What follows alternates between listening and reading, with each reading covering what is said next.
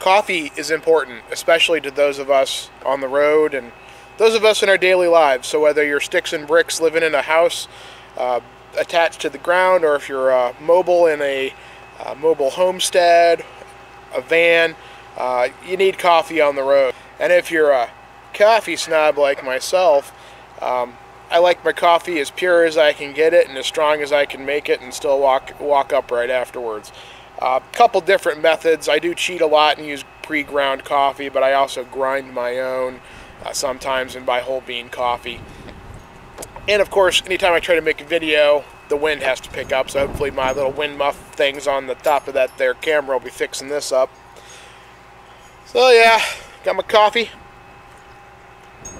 And we're good to go here to talk about that. Alright.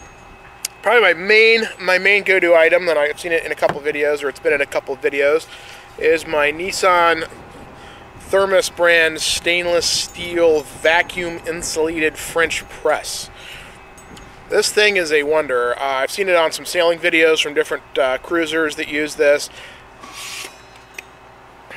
It is, and this has been heavily used, so it's stained. I've cleaned it, but that's just coffee on the side and all over the outside. Um, it's a vacuum insulated French press. Basically, I'm going to put, uh, and this is a, I have don't have an amount on this. This is like a half ounce scoop. I put six heaping half ounce scoops of coffee into the pot. I add boiling or just just below boiling temperature water, and I insert. Uh, I fill it to about about here. I insert the press to the bottom, and then I actually fill fill the hot water up to the, the rim. And the reason I do that is that this does have some dents in this screen, this filter screen, so it does get a few grounds around it. Um, but I found if I fill it up with the water, kind of sits in there. And what I'll do is I will uh, set the lid down and have it off off of the pour. I'll rotate it, and then uh, when my coffee is done, I'll pull this back up, and I actually kind of knock it a couple times on the countertop.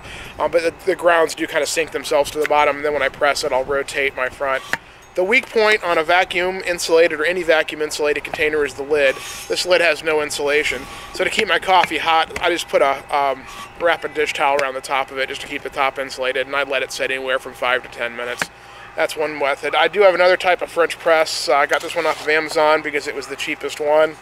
This will make a, a cup of coffee that you can either drink out of this copper pour it into an insulated mug. I have a Bubba mug that I use coffee goes in there, I found that roughly two to three scoops of uh, good strong ground coffee in the bottom.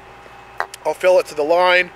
It has a silicone ring and there's a filter. Push it down. You can put the lid on it, but you want to open it up so that it does so the pressure comes out, the air pressure, and I'll push it down or let it sit and then push it down when it brews. You screw the top down,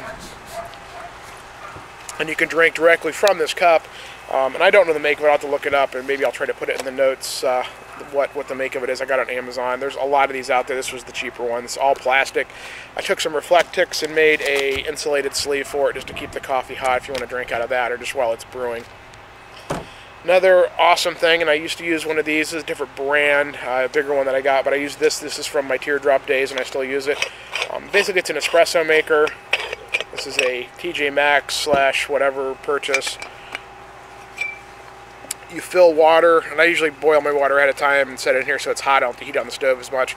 Uh, fill it up to that release valve. This cup gets filled with coffee. You can press it down. I wouldn't pack it in there. What it's going to do is the water boils. It's going to force um, the coffee up through the grounds into the pot, and it'll kind of almost percolate down, I guess you will, off the sides. This makes a super strong cup of coffee. This is this is espresso, what this thing makes. So you can either dilute it, or if you're uh, more manly than I am, you can uh, go right ahead and drink it straight out of your cup without adding uh, sugar or milk or whatever you're going to add into it. I also have an electric grinder. Everybody knows what those are. And then this is a Clara's coffee hand mill. Basically, you're going to put your coffee beans in here. Put your top on. Attach them as your, your handle. Going to crank it. And it does make nice ground coffee in the bottom. There's still some in there from before. You can set the, um, the size of your grinds, the grounds, uh, by that wheel. Um, I've used this a number of times, and it's made me a believer in either pre-ground or electric grinders. But this is a good, it's a good grinder if you don't have any power, and you need your cup of coffee. Um, this does work. Um, there's just a lot of effort in it. And as the wind blows our mat here on the hooded Adventure Adventure Wagon E Norma, and there's a brush that comes with it, so you can get the grounds out of the grinder. I carry this just in case. Those are my coffee options. So that's my quick review of some options for making coffee. Again, Nissan Thermos insulated vacuum French press. A this is a Palms restaurant brand. I don't know. I got it TJ Maxx. This is basically an espresso maker, and then a single single uh, cup press there.